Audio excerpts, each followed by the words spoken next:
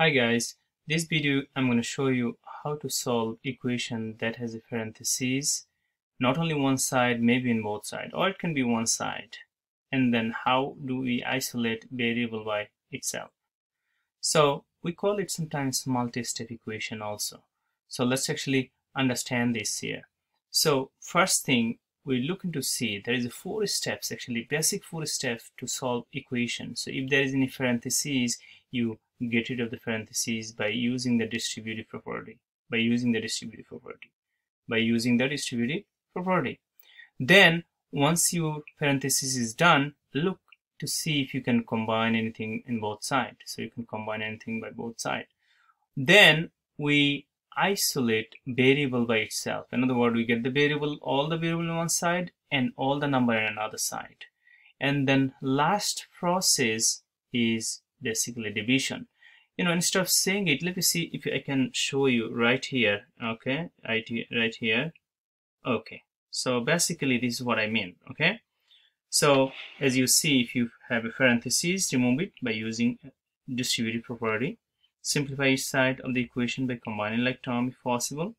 Get all the variable terms in one side and all the number terms on the other side by using the addition property okay of inequality and also this is the 4 number 4 which is last step is always division if there is any coefficient of the variable present okay?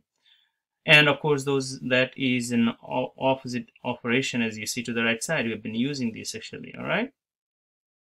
So now we have an example down there right? So let's take a look here. We can use this example.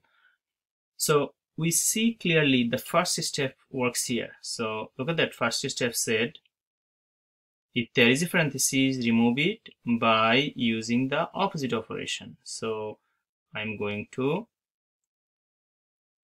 distribute. I'm going to distribute. That's all down here. Also i'm going to distribute. I'm going to distribute there. So it will give me it will allow to allow me to write 8x plus 32 minus 6 remember you don't distribute any further because parentheses end up there okay? So you bring down negative 6 equal to 15 minus now 4 times 5 so you distribute it. So which is negative 20 x. And again we distribute negative 4 times negative 2 is going to give you positive 8 positive 8 remember this is where many of us get off. So instead of positive you guys write negative and which is not correct. We cannot write that negative okay? So i want to make sure that negative 4 times negative 2 it should give you positive 8 that's a side note okay? All right next thing we do we're going to combine like term and we know by now actually we can combine only one side of the equal sign. So these two are similar and also these two are similar. So we are going to have 8x plus 32 take away 6 is 26 equal to 15 plus 8 is 23 minus 20x bring it down okay. Then we cannot combine any further then we have to get the variable in one side and number in another side by using the opposite operation which is basically number three as you see down there on the bullet okay? So usually usually you know you can do any way but usually I try to cancel out the smaller variable. I try to cancel out the smaller variable. So clearly my smaller variable is this one as you see. This is my smaller variable because 8x is bigger than negative 20x. So what is the advantage of cancelling out smaller variable? You won't see negative sign pop up, okay? And I mean, at the end, well, on the left side. So we're gonna add 20x in both side, add 20x in both side, add 20x in both side. So if we do so,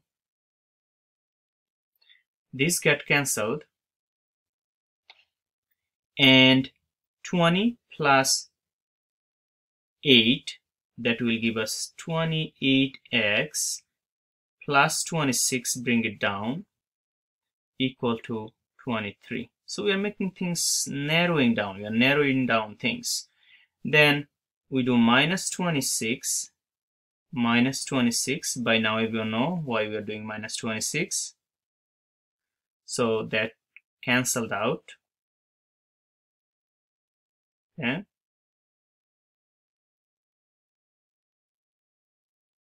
okay so then we bring down 28x equal to down here is negative 3 remember adding with different sign finally the last step I want to show you that I mentioned up here.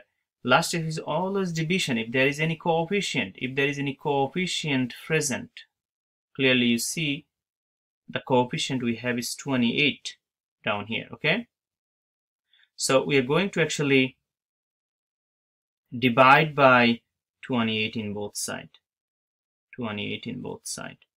So that will cancel out. So x equal to negative 3 over 28. And I don't want to convert into an, you know, a, a decimal. This is a proper fraction. So I would love to have this as my answer unless your question asks you to convert in some form of, you know, um, decimal or something. Otherwise, you leave it like this. This is safer. Okay. Thank you. I hope you understand.